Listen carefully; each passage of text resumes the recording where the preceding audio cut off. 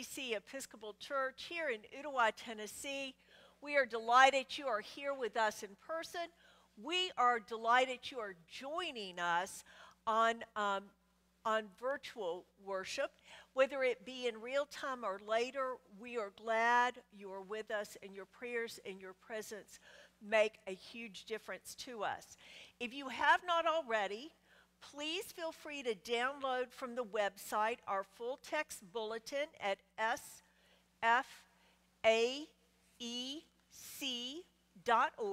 And in it, you'll find all our hymns, all our scripture readings, as well as all our prayers. And we begin this morning with They Cast Their Nets in Galilee.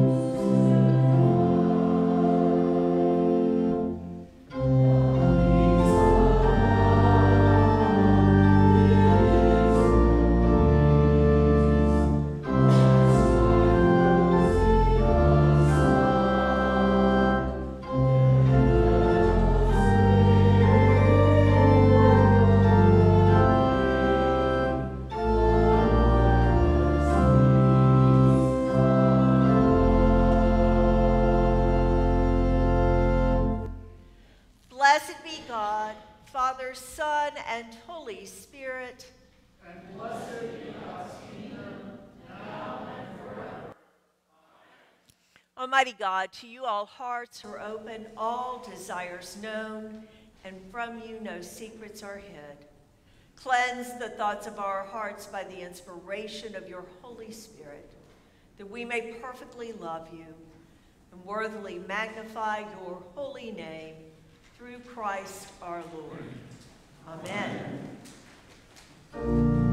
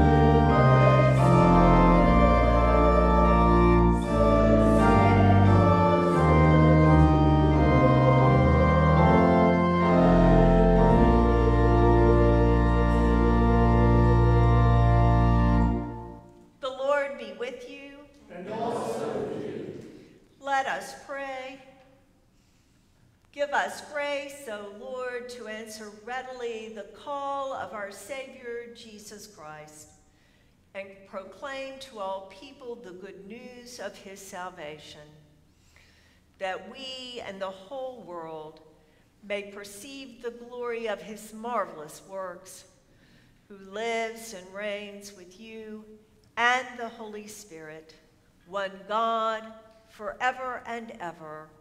Amen. Amen.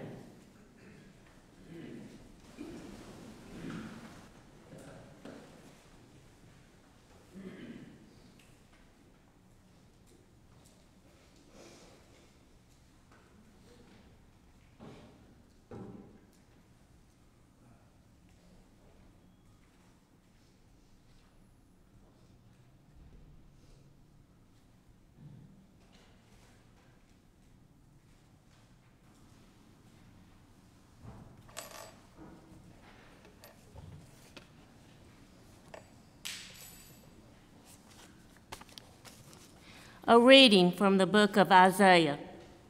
There will be no gloom for those who were in anguish. In the former time, he brought into contempt the land of Zebulun and the land of Naphtali. But in the later, latter time, he will make glorious the way of the sea, the land beyond the Jordan, Galilee of the nations. The people who walked in darkness have seen a great light. Those who lived in a land of deep darkness, on them light has shined. You have multiplied the nations, you have increased its joy. They rejoice before you as with joy at the harvest, as people exult when dividing plunder. For the yoke of their burden and the bar across their shoulder, and the rod of their oppressor, you have broken as on the day of Midian.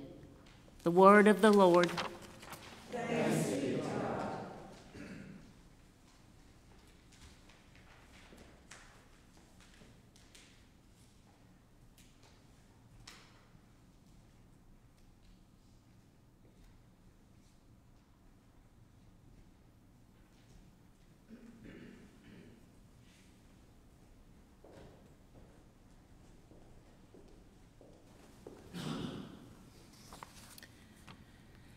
Our psalm for today is a portion of Psalm 27. We will say it together in unison.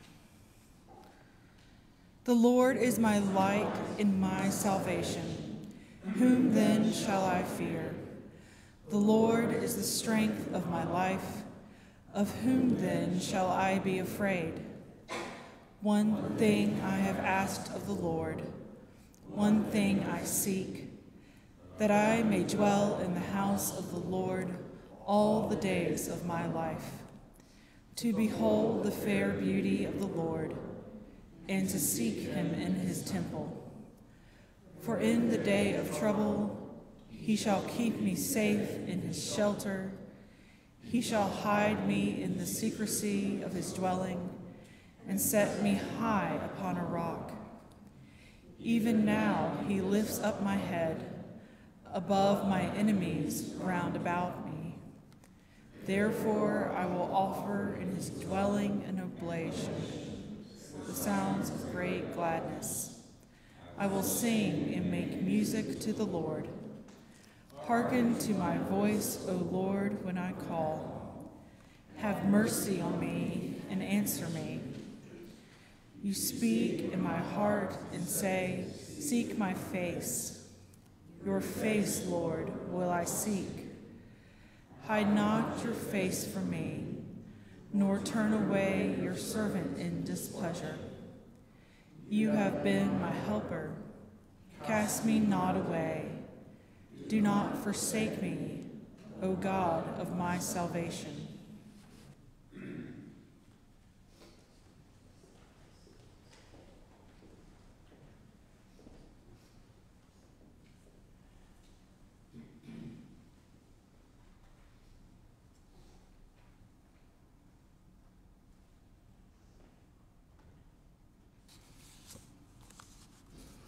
A reading from the first letter of Paul to the Corinthians. Now I appeal to you, brothers and sisters, by the name of our Lord Jesus Christ, that all of you be in agreement, and that there be no divisions among you, but that you be united in the same mind and the same purpose. For it has been reported to me by Chloe's people that there are quarrels among you, my brothers and sisters. What I mean is that each of you says, I belong to Paul, or I belong to Apollos, or I belong to Cephas, or I belong to Christ. Has Christ been divided? Was Paul crucified for you? Or were you baptized in the name of Paul? I thank God that I baptized none of you except Crispus and Gaius, so that no one can say that you were baptized in my name. I did baptize also the house of Stephanas. Beyond that, I do not know whether I baptized anyone else. For Christ did not send me to baptize, but to proclaim the gospel, and not with eloquent wisdom, so that the cross of Christ might not, might not be emptied of its power. For the message about the cross is foolishness to those who are perishing, but to us who are being saved, it is the power of God. The word of the Lord.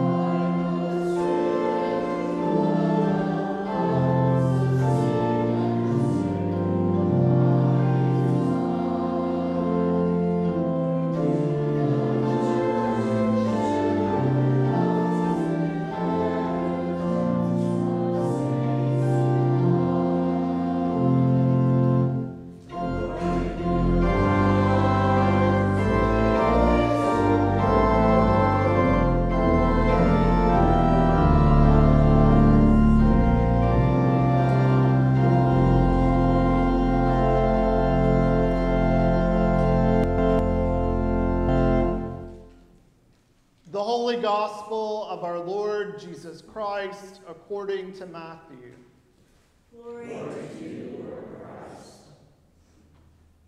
Now, when Jesus heard that John had been arrested, he withdrew to Galilee.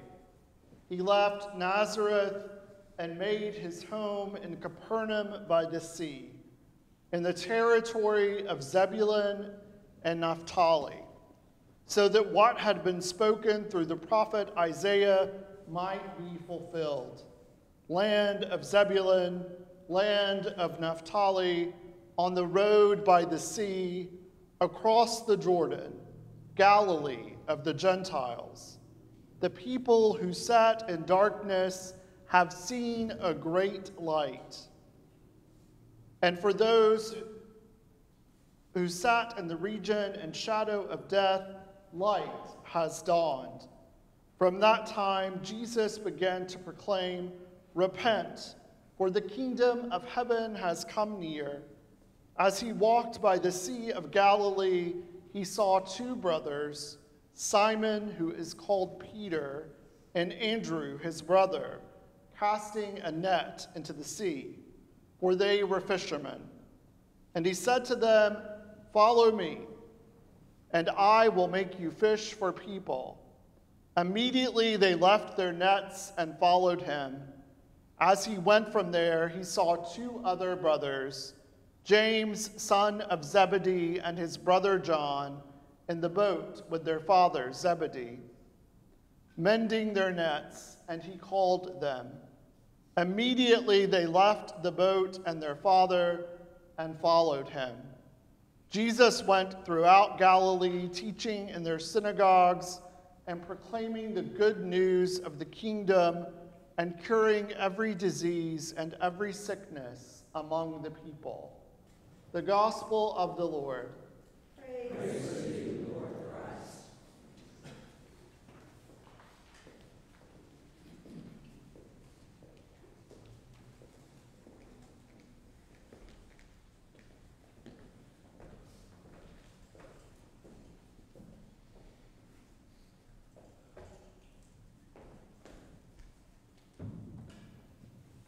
In the name of God, Father, Son, and Holy Spirit. Amen. Amen. Please be seated.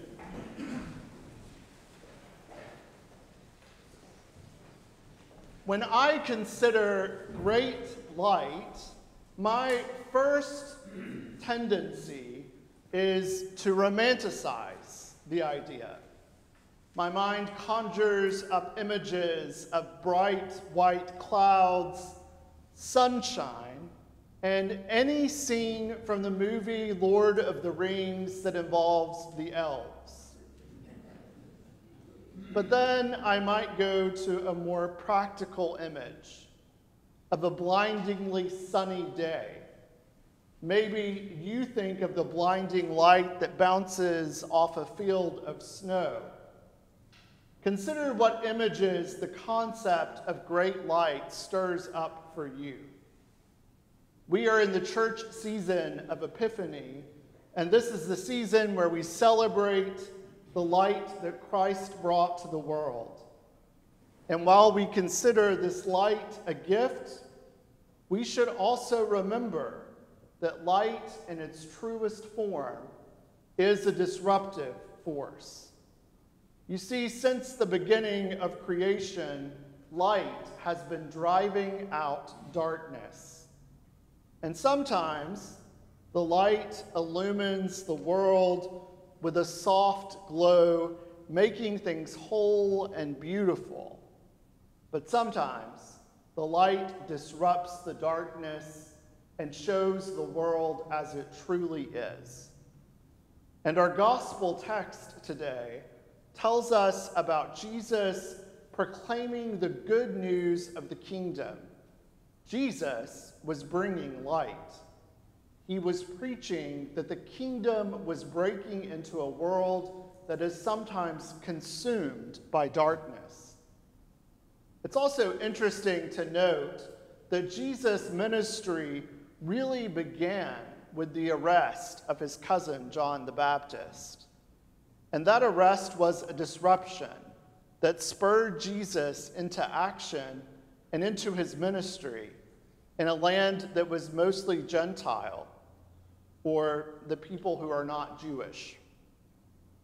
So let's talk about the darkness for just a minute. Since the beginning of creation, light and dark have coexisted. In our various contexts, we might see the darkness as evil, or as a separation from God, or a separation from that kingdom that Jesus was preaching about. But whatever this deep darkness represents to you, you are probably aware that it exists in tension with great light. In Jesus' time, the Roman government would have been seen as a force of darkness in the world. The Herod who had John the Baptist arrested was the son of the King Herod who ordered the death of all male children under the age of two. And some argue that this specific Herod was nothing more than a puppet king for the Roman government. In the Old Testament account of the prophet Isaiah, the force of darkness was the Assyrian army that had invaded the Jewish lands of Zebulun and Naphtali. And any people that have lived under an occupying force experience such darkness. For the past almost year, coming up in February, we have witnessed the occupation of Ukraine by Russian forces, and we have watched these dark events unfold on our television screens as the Ukrainians deal with the real life consequences of such a militarized occupation. Like those mentioned in our scripture reading, we are not immune to encountering the deep darkness of life. Most of us in this room know the deep darkness that grief can bring the grief of the loss of a loved one or the loss of a job, the grief of health issues that prevent you from living life to the fullest. And we are also aware of the collective darkness in the world the darkness of poverty, disease, and of neglecting to see Christ in each other. In our epistle reading today, we see a little bit of this darkness playing out in some church drama in Corinth. Now, we all know that there's never drama in church, um, but Paul wrote to this church to address a controversy of people saying, I was baptized by Apollos, I was baptized by Paul. And honestly, if you look at the reading, Paul gets a little snarky with these people, doesn't he? And says, I'm glad that I barely remember which of you I baptized because it's not important. The good news, though, of the kingdom of God is that darkness does not have the final word. In our reading today, Jesus approaches two sets of brothers and he asks them to follow him. Both sets of brothers do. And our lectionary text tells us, or it doesn't tell us, if Jesus knew these men beforehand. There are several things that I want to point out about this. One, the brothers were seemingly leaving their livelihood behind to follow Jesus. They left their father, and that would have been not normal because they would have been expected to take care of their father as he aged. And Jesus, like that light that we talked about before, is again acting as a disruptive force. Truly following Jesus and not the image of him that we create for ourselves has the potential to disrupt your life. It might mean that you have to leave your old way of being to live into something new. It might require us to make sacrifices that make us uncomfortable. It might require us to challenge systems that oppress people. And it does require us to repent of the ways that we have not honored Christ in each other. And finally, fish for people. Jesus tells these brothers who become his disciples to follow him, and he will teach them to fish for people. And we often think about the practical aspect of this. And on one level, it's true that Jesus was asking them to leave their livelihood. But what we don't always consider is that he was also asking them to leave an oppressive system. Because a commentary that I read pointed out that the brothers were fishing for the emperor and they were likely taxed to the point of poverty. And so Jesus called them out of that to follow a different way. They had to leave something behind. So this morning, think about what you might need to leave behind as you follow Jesus. And what might this community need to leave behind as we follow Jesus? It might look like us doing things like continuing to open our church to the wider community. And again, I know I say it from the pulpit a lot, but one of the most important things I think this church does for our community is our sack pack program that meets every Wednesday night. And now they are packing 77 sack packs. And if you don't know what that is, it's a bag of food for children um, that are food insecure at some of the local elementary schools. And that's a bag of food that's um, meant to hold them over for the weekend when they're not getting food at school. So that's one of the ways that this church makes a very practical impact in this community is by providing food to our neighbors. So shine your light and disrupt the darkness.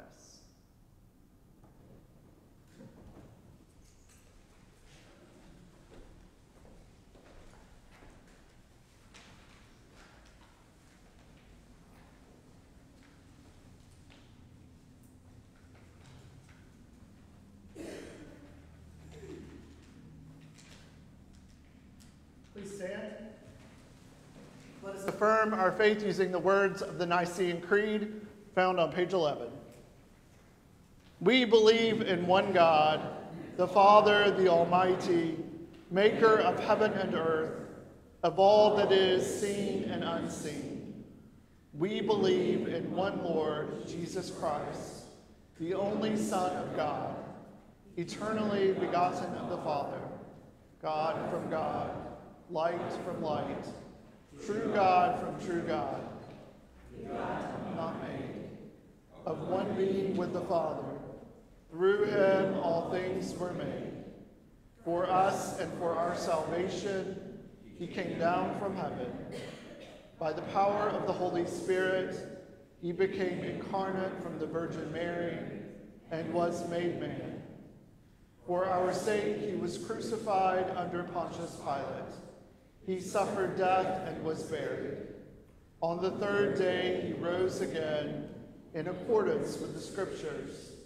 He ascended into heaven and is seated at the right hand of the Father. He will come again in glory to judge the living and the dead, and his kingdom will have no end.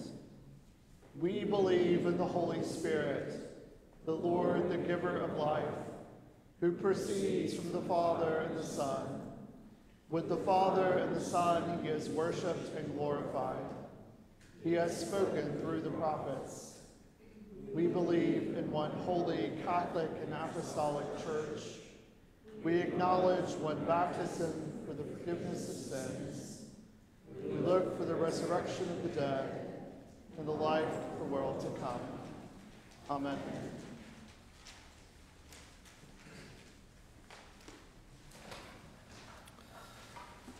Formed by the word and promise of God, let us pray that the merciful glory of God, manifest in all the earth, may drive away all darkness, and that God's providence lead all people from death into life.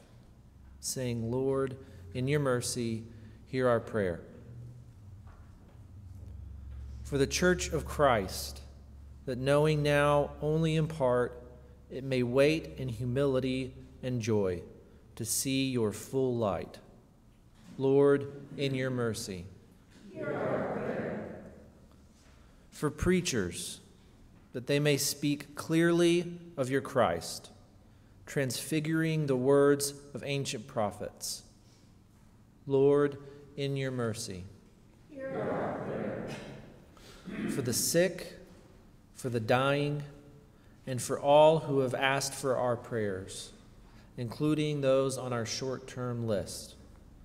Pat Allen, Bob Andrews, Clarissa Boyer, Michael Bradley, Asa Gannon, Nellie Groberg, Charles Hall, Robert Hawks, Ben Heap, Mary and George Hester, Stanley Horning, Darren Lee, Greg Love, the Love family, Gladys Martin, Allison McCants, Christine Nichols, Nevia Roberts, Randy Rockholt, Nancy Rose, Dina Roth, Andrea Simulus, Jody Slawinski, Jerry Sniff, Mike Wilson, Lena Woodson, Ann, Ashley, Christine and family,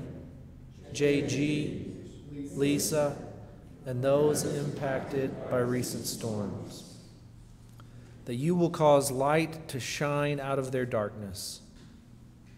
Lord, in your mercy.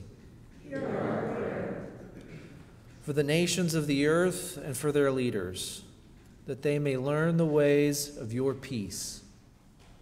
Lord, in your mercy. For all those who seek you, not knowing your name, that they will find that your everlasting mercy has enlightened them and called them by name. Lord, in your mercy. For Michael, our presiding bishop, and Brian, our bishop. For St. Paul's of Kingsport in our diocese, and for St. Mary of Old Agency in our companion diocese of South Dakota, and for the Chattanooga Food Bank. Lord, in your mercy. For those celebrating birthdays this week, including Joe Greenwell, Dexter Canelo, for those celebrating anniversaries, including Ed and Becky McCoy, for those on our parish family prayer cycle, Veronica and Carl Slack, Joe and Sharon Slawinski, Kevin and Linda Sneary. Lord, in your mercy.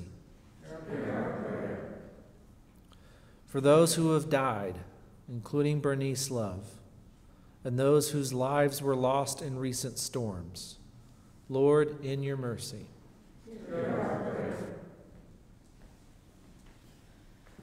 Before you, O God, are all our hopes and all our needs. You are our life and light, our mercy and hope, and our ever dawning day. Hear us through your Son, Jesus Christ our Lord. Amen. Beloved of our Lord Jesus Christ, the peace of God be always with you.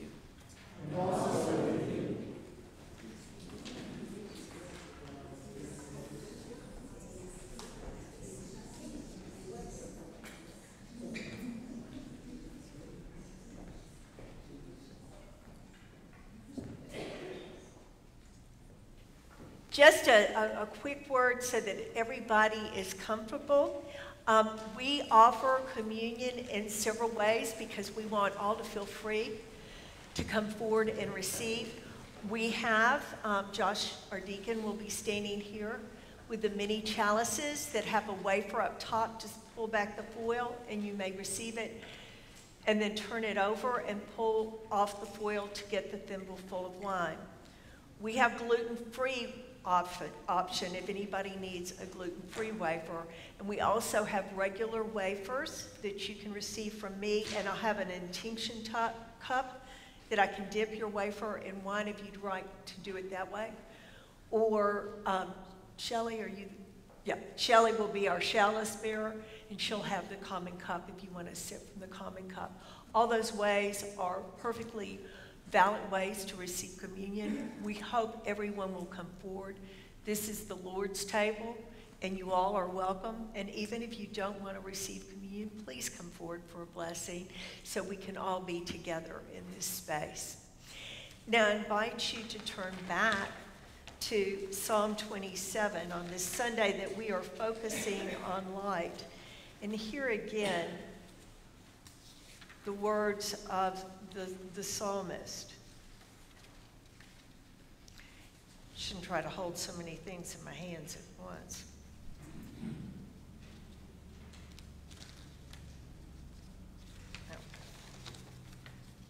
You all are being very patient. Thank you. The Lord is my light and my salvation. Whom then shall I fear?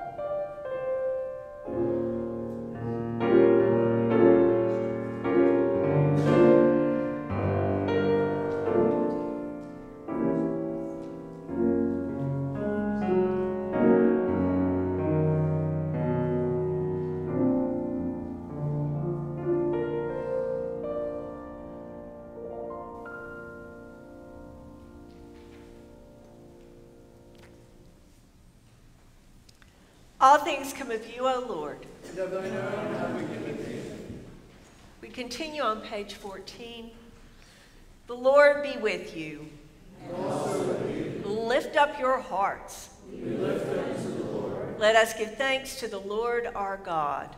It is right to give God thanks and praise. It is right and a good and joyful thing, always and everywhere to give thanks to you, Father Almighty, creator of heaven and earth, because in the mystery of the Word made flesh, you have caused a new light to shine in our hearts, to give the knowledge of your glory in the face of your Son, Jesus Christ, our Lord. Therefore, we praise you, joining our voices with angels and archangels and with all the company of heaven who forever sing this hymn to proclaim the glory of your name.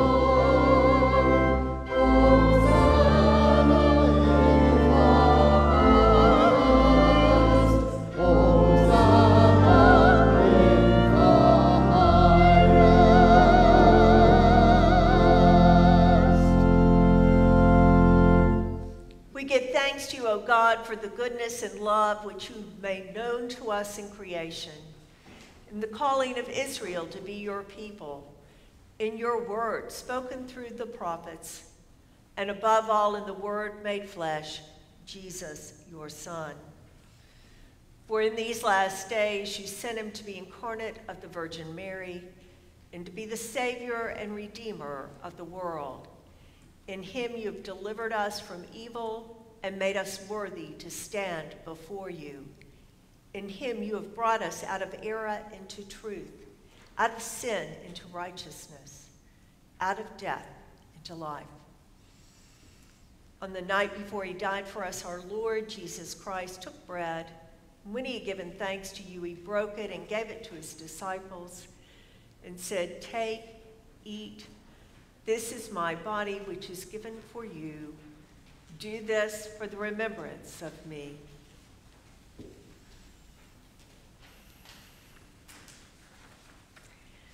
After supper, he took the cup of wine, and when he had given thanks, he gave it to them and said, Drink this, all of you. This is my blood of the new covenant, which is shed for you and for many for the forgiveness of sins. Whenever you drink it, do this for the remembrance of me.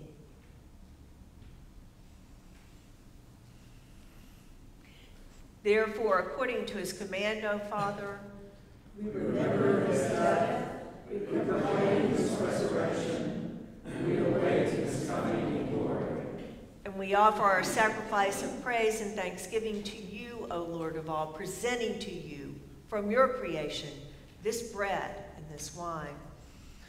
We pray you, gracious God, to send your Holy Spirit upon these gifts, that they may be the sacrament of the body of Christ and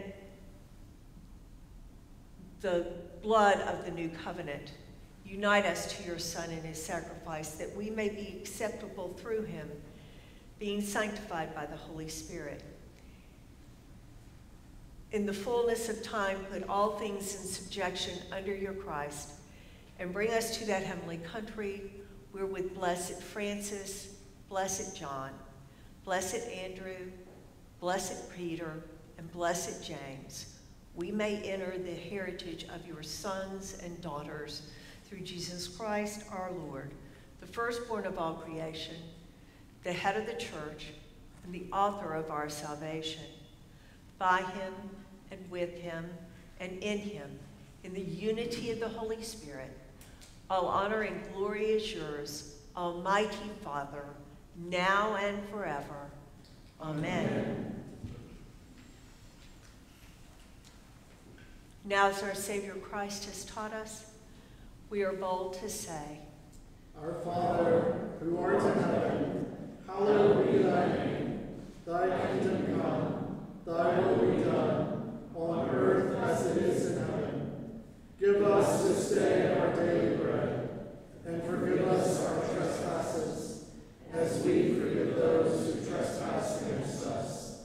And lead us not into temptation, but deliver us from evil. For thine is the kingdom, the power, and the glory, forever and ever.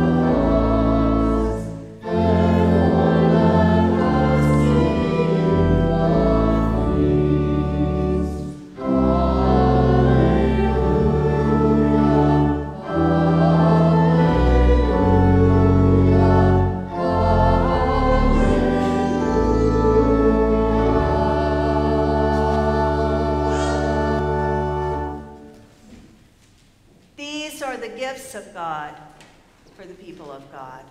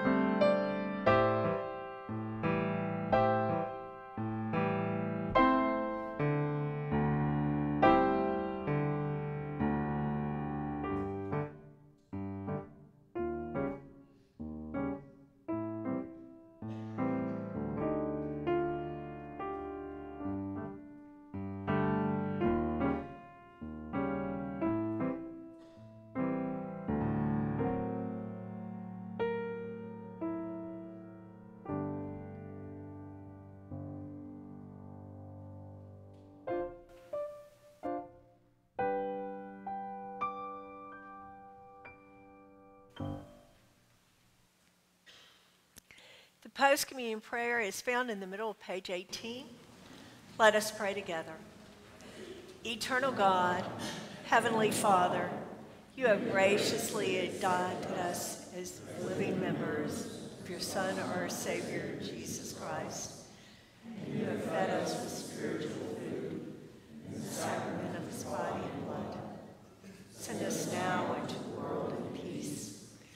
Grant us strength and courage to love and serve you with gladness and singing forth. Through Christ our Lord. Amen. Please be seated for a few announcements.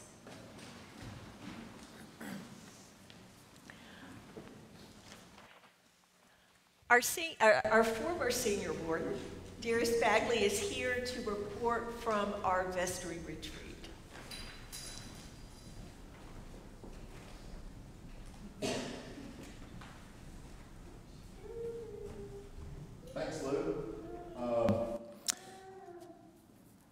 There was some communication this week out in the weekly announcements, but we wanted to reinforce that here on Sunday. Uh, in regards to our capital campaign, our three year capital campaign, and I will say very successful capital campaign, officially ended on uh, December 31st, just a few weeks ago.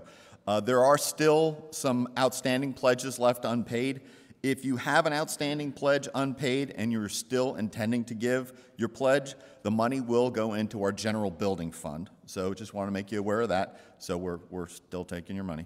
Uh, as far as a pledge update uh, for 2023, for calendar and fiscal 2023, uh, currently Rocky Hudson, our treasurer, is developing our budget for 2023. We are woefully behind on information due to the dearth of pledge cards and communication about giving. Uh, it's essential for planning the fiscal year to have complete information about our income, so we are asking that you please submit your pledge card. Uh, if you typically give your pledge, directly to the treasurer uh, or without a pledge card, could you please make your intentions known to Rocky, to, uh, to our treasurer, Rocky Hudson? His email and phone number are in the weekly announcement you received this week, and he's also in the directory. Uh, all communication with the treasurer is, of course, confidential. Uh, can I just tell Rocky's quick little story too? Okay, I think he'd, he'd be okay with that. So, uh, in, in the vestry retreat last week, as we were kind of contemplating the 2023 budget, which is going to be a challenge without this information, folks, uh, you know, it's kind of speaking of church drama that uh, uh, Josh mentioned. So, Rocky said, You know, I was never a person in church for years and years who gave a pledge card. I just, I gave what I gave, and I didn't think anything, it was anybody's business, so I didn't submit a pledge card. He goes, Now that I'm on the other end of it, being the treasurer, he goes, I'm flying blind. I got to know what we're working with. So, uh, from firsthand right there, uh, if you'd please just make your intentions known to Rocky or a pledge card, it will really, really help us gather a budget and plan accordingly. Our church is, is, is debt free as we love it, but we, we need to continue to be good stewards of the work that we do here, and that information is really critical. So, thank you for your time. Any questions? All right. Thank you. Back to you. Thank you, thank you, dearest. You all may remember that Dearest headed up our capital campaign. He and our current senior warden, Dexter, continue to head up stewardship. So please keep in mind how important all the gifts you share with this church are to us. It's what keeps bringing us to this place, keeps the lights on, and keeps our voices lifted in praise. So please, if you haven't had a chance, do let Rocky know. Uh, this is another full week at St. Francis. Tom- tomorrow we'll be at Creekside at 9:30 in the morning to share uh, Eucharist from here that we celebrated today with our friends in that retirement center. Tomorrow evening, yoga will meet. On Tuesday, all afternoon, we have music lessons going on in the parish hall. Wednesday, as Josh mentioned, at 5:15, we pack 77 sack packs. Any and all are welcome to help with that. And then after that, at 6 o'clock, we have a brief worship service. It's live on Facebook as well as in person in the parish hall. And at 6:15, we will continue our discussion of this gem of a book in the Bible, Ruth. We ask that you read um, chapter 310 through the end of the book, and we will have a very lively conversation, I promise. And it's not too late to join us. We'd love to have you be part of it. Um, on Thursday, Tai Chi meets, and then this Saturday, we entrust our sister in Christ, Bernice Love, to God's eternal care. The family, the Love family, will be receiving from 10:30 to noon here, and then at noon we will have a service with full communion here in this space. Um, and all support, all, all your prayers are deeply appreciated by the Love family at this time. Um, and if you'd like to help with the reception, there's some people doing that, and if you're interested, let me know, and I'll be sure to share their names so you can let them know you can help with the reception. Looking ahead, um, it's a very busy time. Uh, two weeks from this, this weekend, we'll be at Diocesan Convention in Johnson City. That means all of your active clergy and three lay delegates and one alternate lay delegate will all up, be up in Johnson City. Never fear, we will be here on Sunday, February 5th. And then that Sunday afternoon, a very special event at 5 p.m., we will have Candlemas, both a worship service and a concert by Harv uh, Wildman's uh, new group. It's an Anglican choir he has created, and our own Sarah Tolick is in that choir. We'd love to see all of you come back. Bring your neighbors. It's a great way for people to come. It will be a candlelight concert. So I think it will be a very special concert. Uh, Chuck will be on the carillon for us. And um, we hope that you all will come and support this special offering and use this as a way of, as Josh invited us, bringing people to church. This is a good way for them to be introduced to our parish. Uh, and then the following Sunday is Super Bowl Sunday, and I do mean not only S U P E R, but S O U P E R. And you may see that we're already collecting soup and things to go with soup in the narthex, Please bring your donations, and we will take all those donations down to the Samaritan Center to help restock their pantry. About this time is when all the Thanksgiving and Christmas donations are wearing thin, and this really helps them restock the food supplies they have to hand out to those um, who need such help. Now, I was not supposed to be here. My surgery was canceled because you may notice I'm having some problems with my asthma, and we're working on that, and we're rescheduling surgery. It will happen, but just not right now. But what will happen right now is a blessing, and I need the children's help. So, all children, please come forward for the final blessing.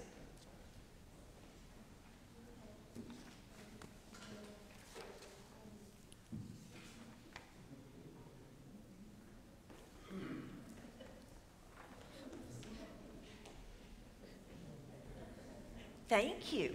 We need all the help we can get, Margot. Okay, hands up. You remember how to do this? Hand up. May Christ, the Son of God, be manifest in you, that your lives may be a light to the world. And the blessing of God Almighty, Father, Son, and Holy Spirit be upon you now and remain with you always. Amen. Thank you.